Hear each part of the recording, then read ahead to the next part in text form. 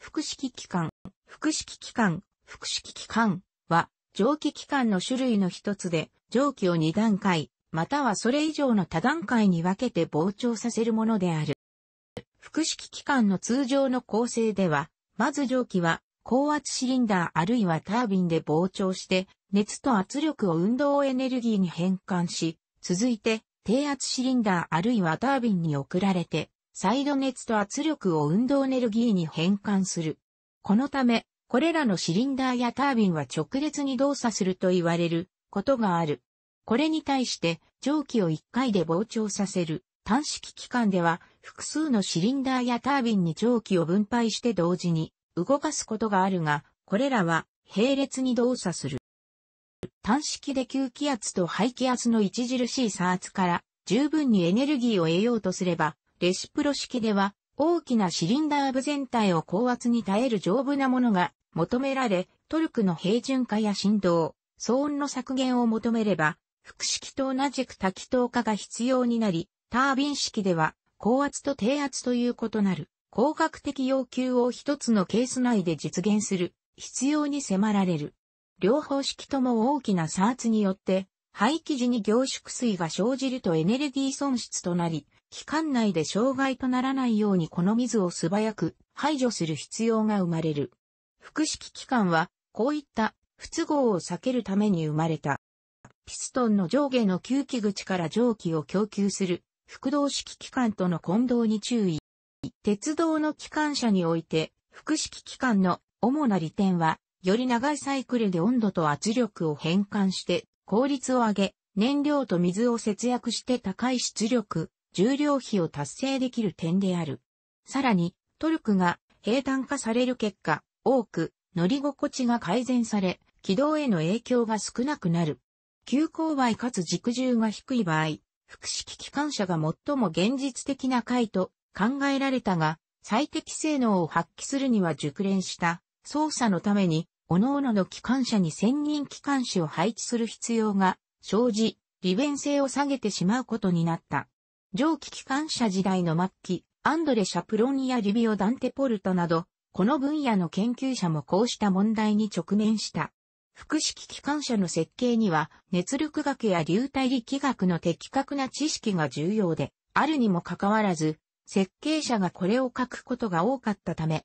過去の設計の多くは最適とは言い難いものとなった。20世紀初頭に製造された機関車で解くこの傾向が顕著で、必ずしも複式機関特有の問題ではなかったが、長い蒸気流路の途中で温度低下と凝縮が起きやすいこの種の期間で特に影響が大きかった。1929年以降、古い機関車を改造する際、シャプロンは蒸気流を改善し、蒸気温度が下がらないように大型の加熱器を取り付けるなどして出力と効率性を大幅に、しかも安価に改善した。さらに温度をより一定に保つため、高圧シリンダーと低圧シリンダーの間に再加熱器、リヒーターとスチームジャケットのついたシリンダーを試験用の貨物、機関車 160AA1 型に取り付けた。再加熱は、ポルトの改造機、プレシデンテ、ペロン、アルヘンティーナでも取り入れられている。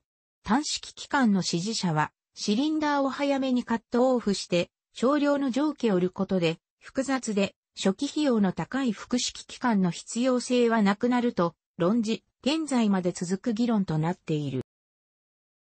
機関車用のレシプロ式では、多くの複式機関の構成があるが、高圧と低圧のピストンがどのような位相関係になっているかに応じて2種類の基本型に分類することができる。高圧側の排気が直接高圧シリンダーから低圧シリンダーに流れ込むものと圧力変動が蒸気溜めやレシーバーと呼ばれるパイプの形で中間のバッファー空間を必要としているものである。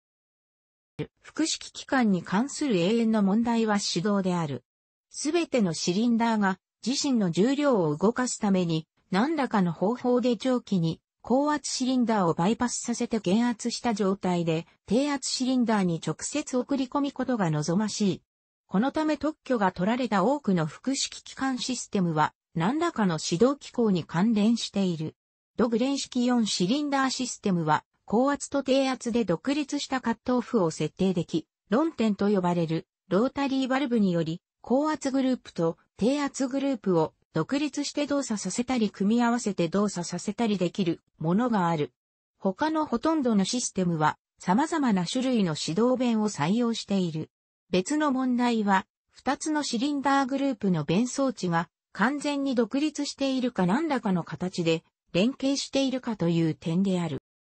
複式機関の構成には様々な種類のものがある。以下に蒸気機関車での構成例を示す。括弧内はその方式を使った代表的な技術者。これらのシリンダーは2以上の軸を駆動するためにずらされていたり、1軸に集中するために1列に並んでいたり、共通のクランクを駆動するために、高圧シリンダーと低圧シリンダーが重列になっていたりする。最後のシステムは20世紀初頭のアメリカ、特にアッチソントピカサンタフェ鉄道で採用されていた。トーマス・ニューコメンの蒸気機関をコーンウォールに建設した人物の一人の孫にあたるジョナサン・ホーンブロアーは、1781年に2シリンダー式、複式往復動蒸気機関の特許を取得した。ジェームズ・ワットが自身の特許が侵害されていると申し立ててきたため、彼はそれ以上開発を進めることができなかった。効率を下げることにつながる単式蒸気機関の連続した加熱と冷却の程度を抑える方法は、1804年にイギリスの技術者であるアーサー・ウールフによって発明された。ウールフは低地式のウールフ高圧複式機関について1805年に特許を取得した。1850年にはイースタンカウンティーズ鉄道が蒸気機関車を複式にする方法である連続膨張機関車について特許番号13029で特許を取得した。しかしながらこのアイデアはその路線の機関士であった、ジョン・ニコルソンによるものであると思われる。このシステムでは、二つのシリンダーは高圧と低圧を交互に入れ替わるようになっており、この入れ替わりはストロークの途中で起きるようになっていた。二両の機関車、旅客用と貨物用一両ずつがこの方式に改造されたが、それ以上の使用例はなかった。上述した機関車が厳密に言って複式であるか、どうかは議論の余地がある。最初の、はっきりとした機関車における、複式機関の適用は、エリー鉄道のナンバー122で、通常のアメリカン型機関車に1867年に、タンデム式複式機関を J、海例の特許番号7341に基づいて取り付けたものである。この機関車のその後については、全くわかっておらず、おそらく同形式は制作されていないものと思われる。こうした単発的なケースを除けば、最初の実用的な複式機関の機関車への適用として知られているのは、アナトール・マレーが1876年に、バイオンのアングレット・ビアリッツ鉄道向けに、小型の2シリンダー複式車軸配置0から4から2のタンク機関車を複数導入したものである。これは完全に成功を収め、長らく使用された。マレーはまた、高圧シリンダーと低圧シリンダーを独立に駆動する方式の複式の仕組みをいくつか考案した。あるものは単一の車体に双方を搭載したもので、これは実際には製作されなかった。また別な方式としては、後部車体に高圧シリンダーを搭載し、これと連接構造の前部車体に低圧シリンダーを搭載したマレー式機関車がある。マレー式の仕組みは世界中で用いられた。最初の適用例は1889年のパリ博覧会向けにドコービル社により特別に製作された一連の600ミリゲージ機関車である。もちろんこの構成は連接部分に蒸気が漏れがちな柔軟な蒸気配管構造を必要とし、これが全部連接車体に低圧シリンダーを搭載する理由である。高圧蒸気をそうした配管に通すとより、漏れやすいからである。一方で、低圧蒸気管が非常に長くなって、特に寒い日には、温度が下がって凝縮する傾向を招くという欠点と、引き換えであり、後年アメリカにおいては、単式マレーが主流となる大きな原因であった。前述したマレーの固定車軸分割駆動方式は、実際には製造されなかったが、イギリスのフランシス・ウェッブにヒントを与えた可能性がある。古いシングルドライバー機を2シリンダー複式に改造した車両で1878年に試験を行った後、彼は最初にマレーの構想と同様のものを1882年にエクスペリメント型として導入した。3シリンダー複式で動輪は連結されておらず、2つの小さな高圧シリンダーが両側に取り付けられて、その排気が大枠内の大きな低圧シリンダーに吹き込まれた。他にも同じような型が続き、だんだんと大型化した。車軸配置は様々なものがあり、2から2から2から0、2から2から2から2、2から2から2から 2t、2から2から4から 0t、0から8から0などがあった。0から8から0のものは貨物用機関車で、これらの中では唯一動輪がすべて連結されているものであった。ウェップは次の段階として4シリンダーの4から4から0と1両の4から6から0、そして最終的にさらなる0から8から0を製作した。後者はウェップの複式機関車としては最も成功であったと考えられており、1920年代までそのオリジナル形態を保ったものもある。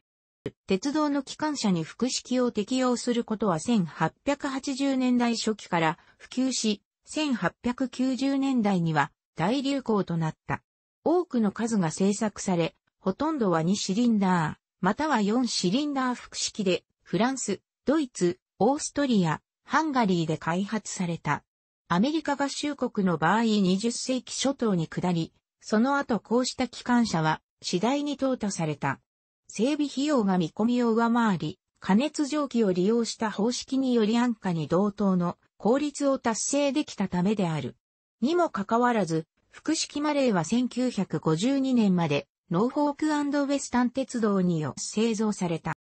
1889年にボールドウィンロコモティブワークスのサミュエル・ボークレインは、ボークレイン式機関車を考案した。この設計では、在来の単式膨張機関と同じスペースに収められる複式膨張機関を用い、在来型の弁装置により、高圧、低圧両方のシリンダーを単一のピストンバルブで駆動できた。かなりの燃費効率改善を達成できたが、保守費用の問題からこの方式は失敗した。ほとんどの機関車は従来型に改造された。デンバーリオグランデウェスタン鉄道の K-27 や国鉄8000形状機機関車、国鉄8450形状機機関車で採用された。フランスの鉄道で長く親しまれた方式は4、シリンダー複式のドグレン式である。原型機は、アルザス機械製造会社の技術者であるアルフレッド・ド・グレンによって設計された2から2から2から0であった。この機関車は4シリンダー構成で、動輪は連結されておらず、表面的にはに似ているように思われるが、内側の高圧シリンダーが前側車輪を駆動し、外側の低圧シリンダーが後ろ側車輪を駆動するという点が異なる。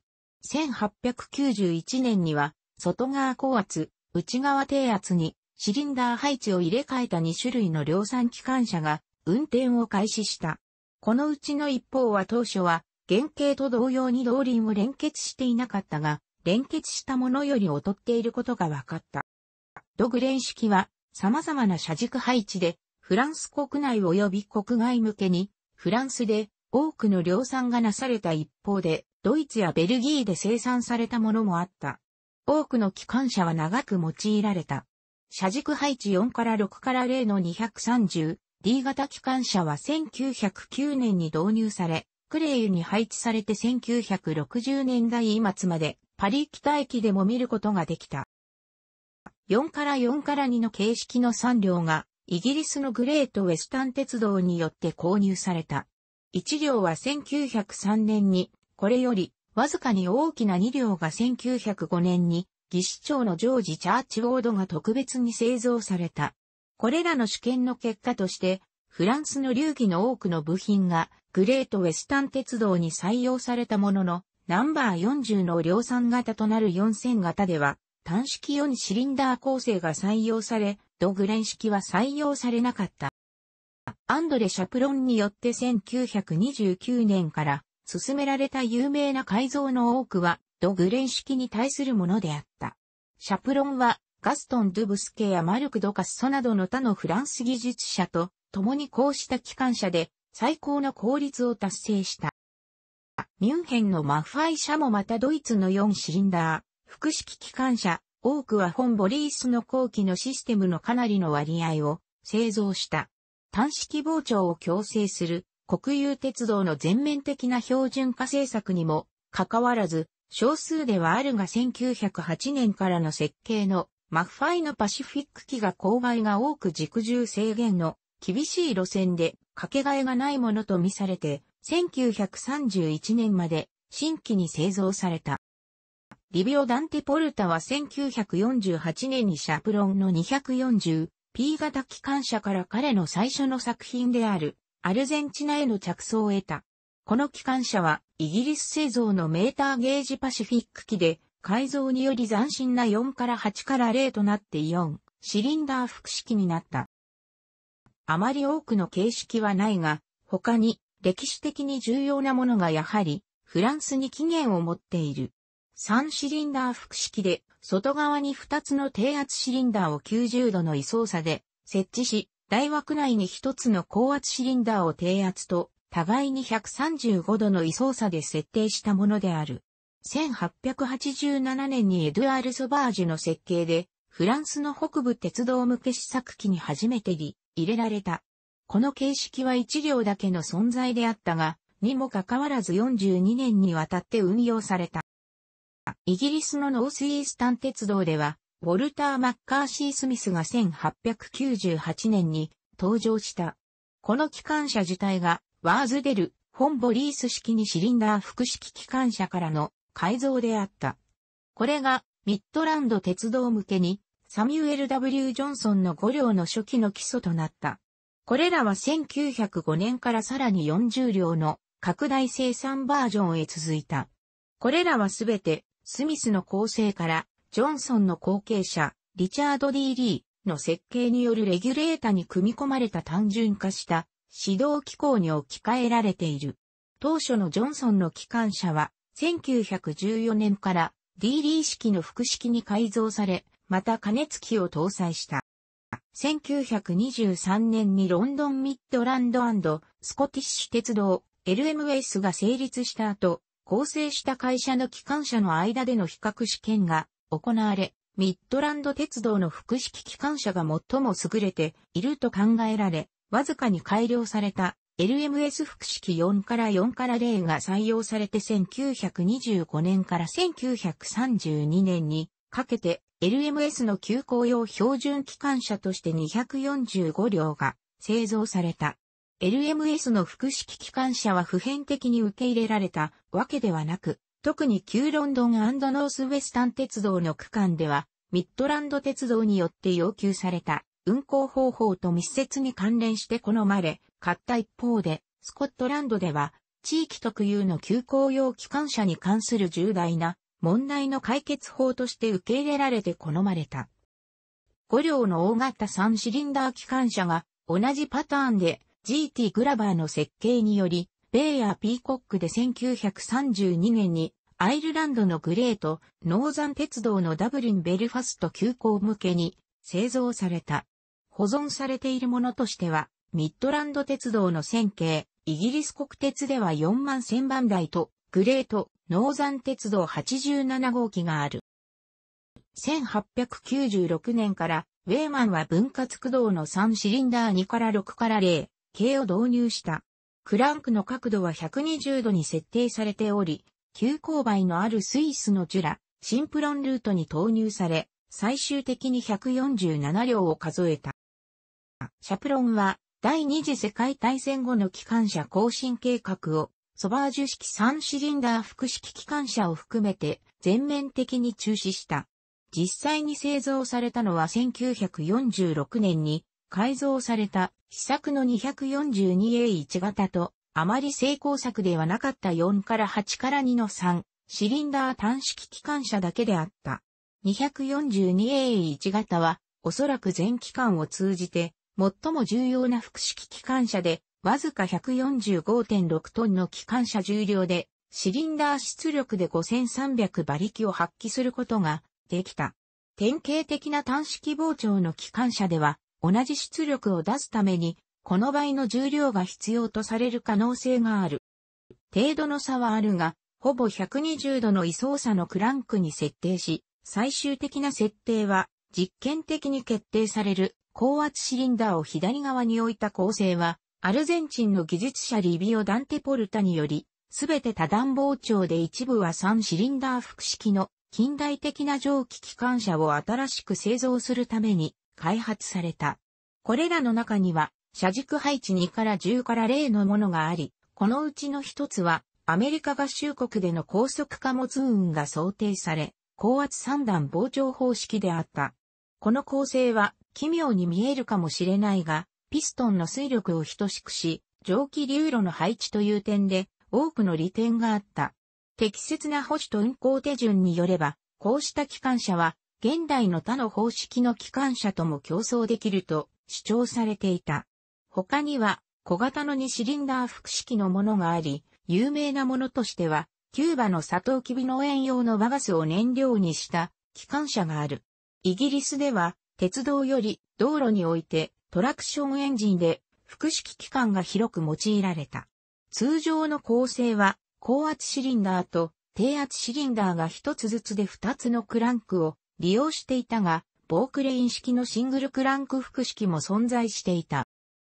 設置面積や重量の制限の比較的緩かった低地式蒸気機関では、複式機関が広く用いられた。通常の構成は、高圧シリンダーと低圧シリンダーが一つずつで二つのクランクを利用していた。紡績工場などで使用された。日本にも輸入され、トヨタ産業技術記念館には1898年、スルザー社製の定置式蒸気機関が保存、展示される。楽しくご覧になりましたら、購読と良いです。クリックしてください。